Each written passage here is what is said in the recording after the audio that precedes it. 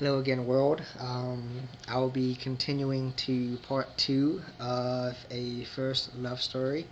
I'm not quite sure how many parts it's going to be, depending on how much I have to read or how fast I have to read um, and narrate. Uh, so, picking up where the first one left off. Uh, the boy and the girl they left for summer vacation of seventh grade, and it was a typical summer day for the boy. And it was on a fateful Sunday after uh, Sunday morning, and he was washing the dishes, and uh, all of a sudden the phone rang. And to his surprise and astonishment, it was the girl. Uh, you couldn't believe what was running through his mind uh, at this moment the thrill, the excitement, the joy. Just the fact that she called him, uh, he must have thought that he had to have made some kind of impression for her to miss him to give him a call and uh, he was pretty much bouncing off of the walls.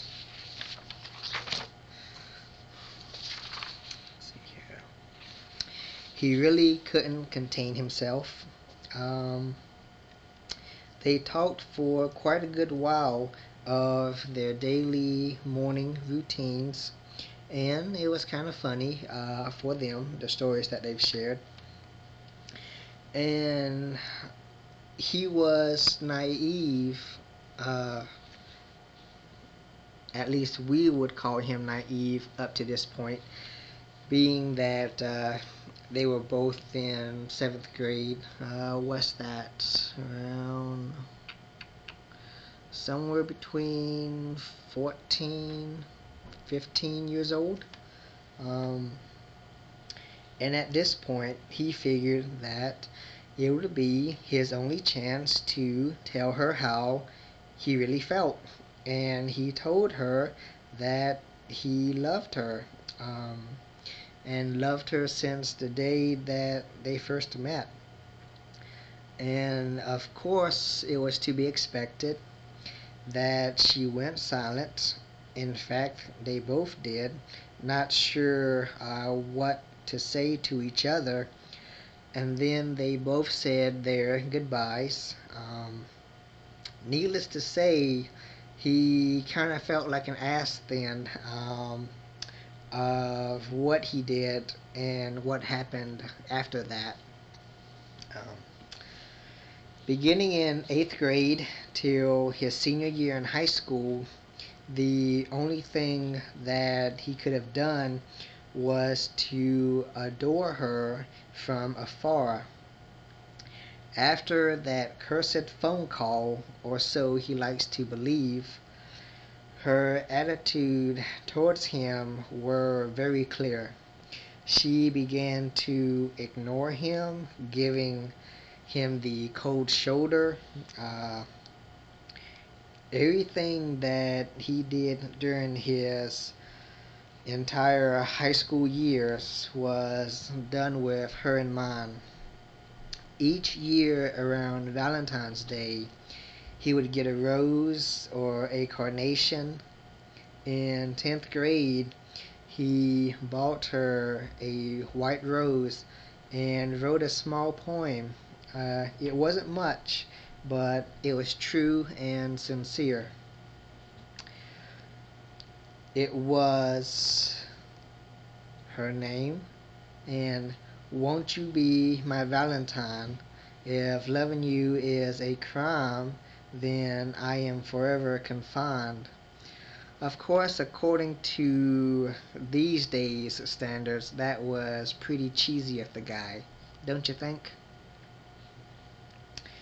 It turns out that she wasn't there that day to accept his token of affections. He only wonders and ponders if she knew what he was planning and that he was planning on giving her those items. So he gave them to her sister, uh, the poem and the flowers, for her to give to the uh, girl of interest. Now, uh, this is a sad story uh, from the main one that happened to the boy. When he got his rose for the girl that year, he chose a white one to symbolize her beauty, her purity, and innocence.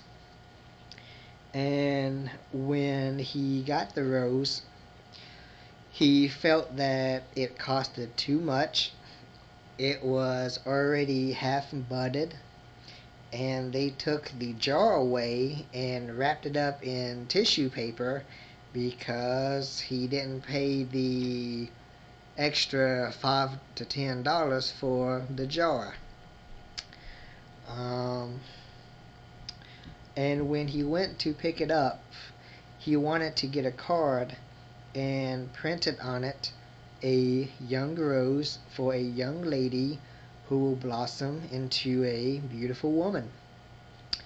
And needless to say that he wasn't surprised the lady at the counter took the card, took a pen, and just wrote the quote up there with a cheap pen and her sloppy handwriting.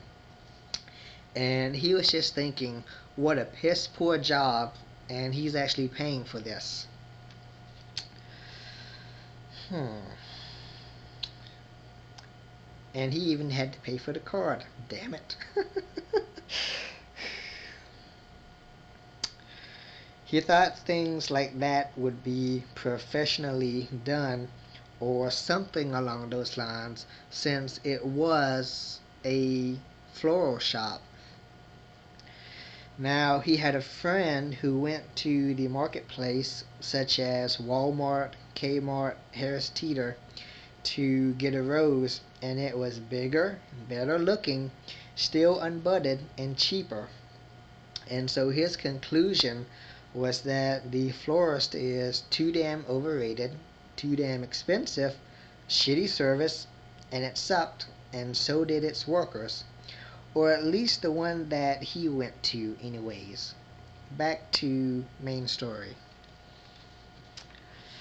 So that same year, his unquenchable flame, unable to be at ease, caused him to be up nightly one night the thought of her on his mind was so intense and so unbearable the words just started to accumulate in his head soon what emerged from that void in the mind came to be known as the poem her name at 2 a.m. on a Tuesday morning.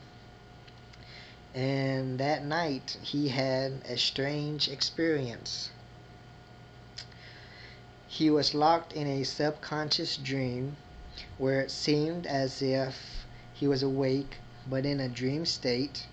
He was aware of where he was and what was around him, but he felt like he couldn't move, he couldn't wake up, and he was unable to speak.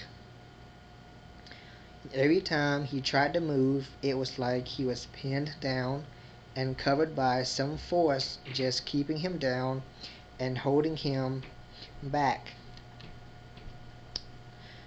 Every word that he tried to say, his teeth was clenched, trying to speak, but he could feel the pressure of his teeth grinding as if any more pressure would have caused it to snap and broken into his enamels.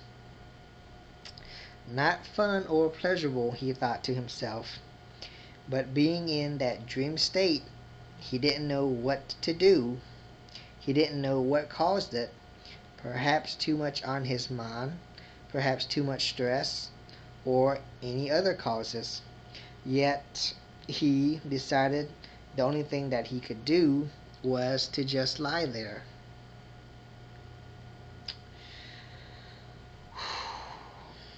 So he tried to relax and focus himself. And what he decided to do was to just think about her and not stress or try to speak or say anything. It was then that the words came into his mind, and I guess I'll start with uh, part three on this.